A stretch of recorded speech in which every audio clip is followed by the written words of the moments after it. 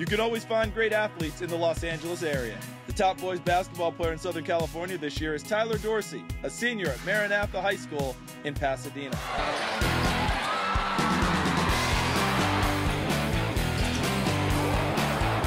I describe myself as a lead guard. Um, I can um, do everything on the court, triple double threat, um, be a scorer, facilitate, and um, get, um, rebound and do everything I need to win the game. Before he arrived at Maranatha, Tyler played his junior season at St. John Bosco in Bellflower, California.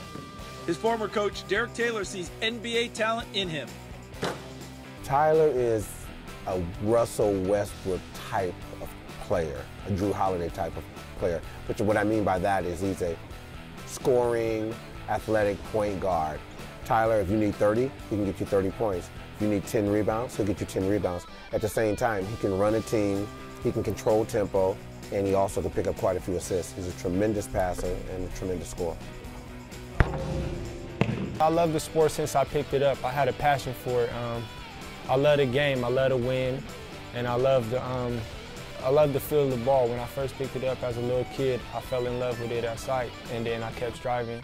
And right now, I'm just striving to be the best player I can be in this sport of basketball. Tyler credits his success to the great support system he has at home, where his parents encourage him on and off the court.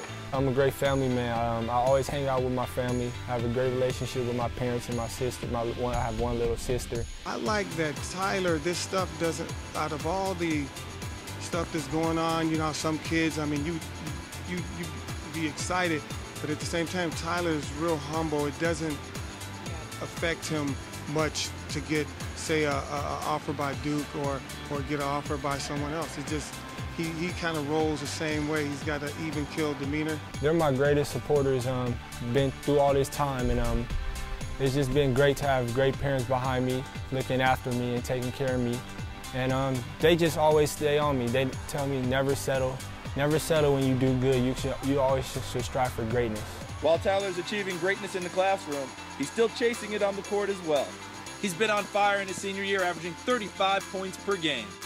He's committed to the Oregon Ducks for college, and he hopes he can keep playing basketball after his days in the Pac-12 are done. That's a dream, but it's coming up real quick. So the work I have to put in is tremendous because at the next level, and then even at the pros, that's grown man business right there. But right now I can just be happy with my um, gifts I have and just keep striving and stay in the gym every day and keep working on my game.